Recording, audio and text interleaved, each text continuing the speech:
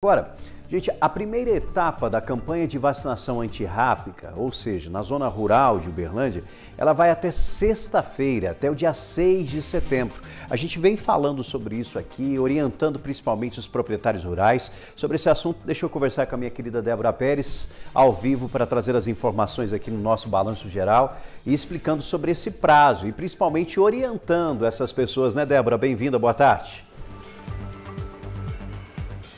Oi, Rafa, uma excelente tarde para você, para todo mundo que está com a gente aqui no Balanço Geral Tarde. A gente já começa o programa falando sobre a importância dessa campanha.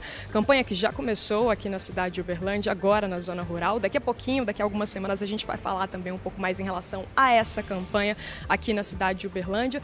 E é muito importante a gente reforçar sobre essa importância e por isso eu converso agora com a coordenadora do programa, Lilian de Andrade, que vai dar mais detalhes para a gente, como a população pode buscar essa imunização.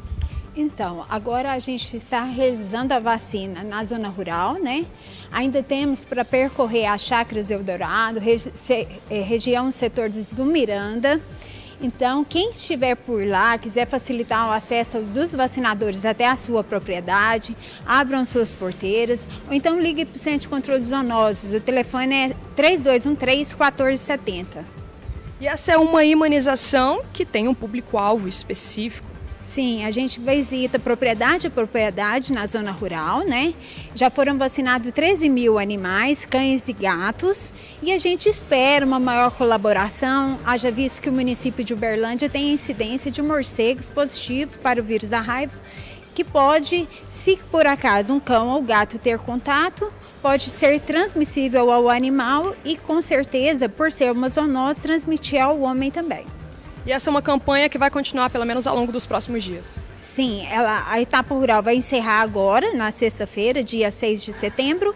Depois daremos início à etapa urbana de 14 a 21 de setembro. Como já estamos finalizando, vou aproveitar a sua participação para a gente falar um pouquinho mais em relação à adesão. Vocês sentiram através dessas estatísticas que foi positivo? Está faltando muito ainda a adesão da população? De que forma que vocês viram esses números? Então, a gente tem esse empecilho né, de ter muitas porteiras fechadas, as pessoas às vezes só vai para a chácara ou a fazenda no final de semana. Então, essas condições acabam atrapalhando o andamento da campanha.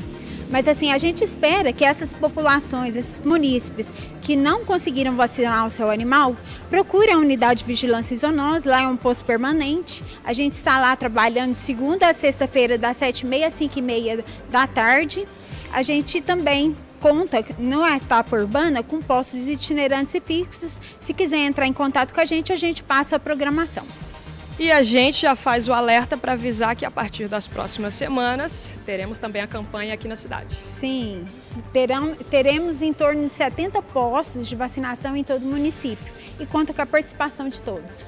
Muito obrigada, Lilian. É isso, Rafa. A gente continua acompanhando, torcendo muito para que os tutores né, consigam ir até esses postos e já deixa também um alerta para quem mora aqui na cidade de Uberlândia em relação às próximas semanas para também já ir criando elo com esse compromisso que é muito importante, né, Rafa? Exatamente, fundamental. Muito obrigado a Lilian, ela que coordena o programa de controle à raiva aqui na nossa cidade e explicando, trazendo todas as informações dessa campanha que se encerra então sexta-feira na zona rural e logo nós teremos o início da campanha na área urbana aqui da nossa cidade. E claro, no Balão Geral, você sabe, a gente vai estar explicando direitinho, bem detalhado para você, amiga amiga.